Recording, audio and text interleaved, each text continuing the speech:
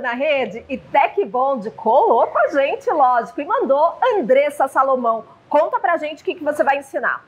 Olha, eu trouxe uma peça linda, linda, linda para decorar o ateliê, que é pra gente começar o ano com um cantinho arrumadinho, com peças fofas. Será que elas vão gostar? Opa, vamos conferir essa aula?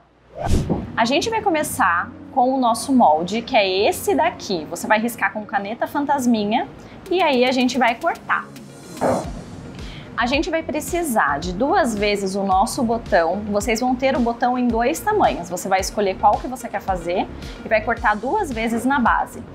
Eu cortei também aqui no papelão. Você pode pegar algum pedaço de papelão que você tem aí na sua casa e cortar tirando a margem de costura que é para não atrapalhar na hora que a gente for casear, certo? Aqui eu tenho a sobreposição do nosso botão. É um detalhe extra que a gente vai estar tá colocando, que é para dar um toque diferenciado na nossa peça. O que, que eu vou fazer? Eu vou começar com a nossa cola silicone. Eu gosto muito da Tech Bond, é a melhor que você vai encontrar para trabalhar com feltro. E aí a gente vai fazer o quê? Eu vou passar colinha nessa sobreposição. A gente vai passar colinha. E aí nós vamos vir com este detalhe, tá?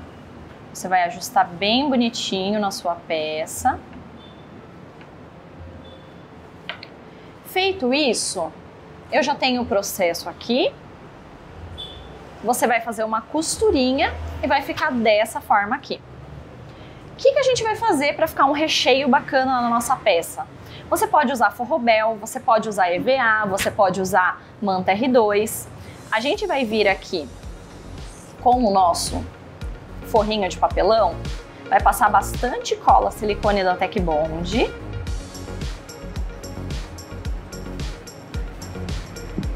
Fixo no meu botãozinho E aí, agora a gente vai vir e vai refilar.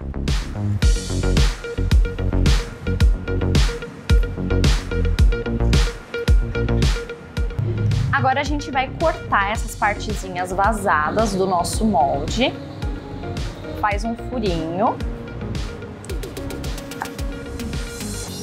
E agora a gente vai cortar.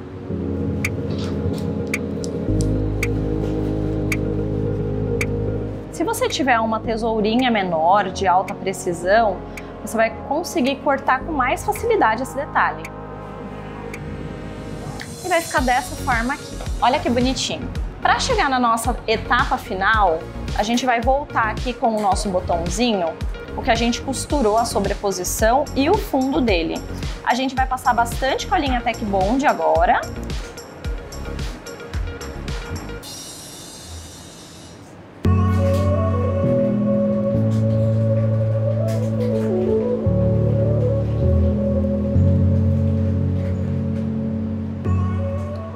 posiciono de forma centralizada. Agora a gente vai virar esse botãozinho e a gente vai colocar o fundo dele, tá? Passa bastante colinha, mais colinha silicone.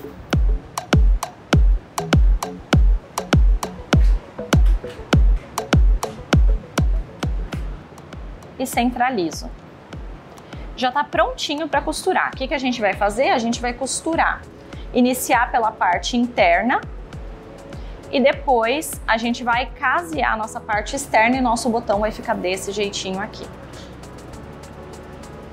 Eu trouxe alguns modelinhos para mostrar para vocês, tá? Vocês vão ter aí no molde outros modelinhos de botões. Aqui estão os nossos botões, eu fiz dois grandes, tá? Fiz um azulzinho, um rosinha e um verdinho. O que, que a gente pode fazer com essas peças? A gente pode colar na parede. Eu trouxe um cordãozinho aqui para dar algumas sugestões para vocês, tá? Você pode trançar como se estivesse costurando, ó, o nosso botãozinho e pode estar tá colando na parede depois. Olha só que fofo que fica. Você pode estar tá fazendo esse trançado no botãozinho para você colar na parede ou então, eu vou montar um varalzinho agora com vocês. Como que a gente vai montar esse varalzinho? Eu trouxe aqui uma agulha de boneca. Esse fio é o fio encerado, tá? Vocês encontram aí com facilidade em lojas de armarinhos. E a gente vai começar a mesclar esses botões. Vou fazer a sequência de cores aqui que eu quero fazer, tá? Ó, eu vou colocar os amarelinhos no meio, vou mesclar entre botões pequenos e grandes, tá? Os grandes eles vão ficar de forma centralizada. E aí eu vou costurando aqui na parte de trás dessa minha peça, ó. Você pode escolher um pontinho aqui para tá passando por dentro, ó. Já tem um nozinho aqui, finalizou, você pode colocar um pinguinho de cola quente aqui, tá ok? Dou a distância, você pode utilizar uma régua aqui para tá fazendo o próximo botãozinho. E a gente vem aqui, ó, e passa mais um botãozinho nesse nosso varal, tá? E vão dando nozinhos, que é para ficar firminho com o distanciamento certo. Se vocês quiserem também, vocês não precisam fazer necessariamente dessa forma, vocês podem fazer de forma é, horizontal, né? E não, vertical.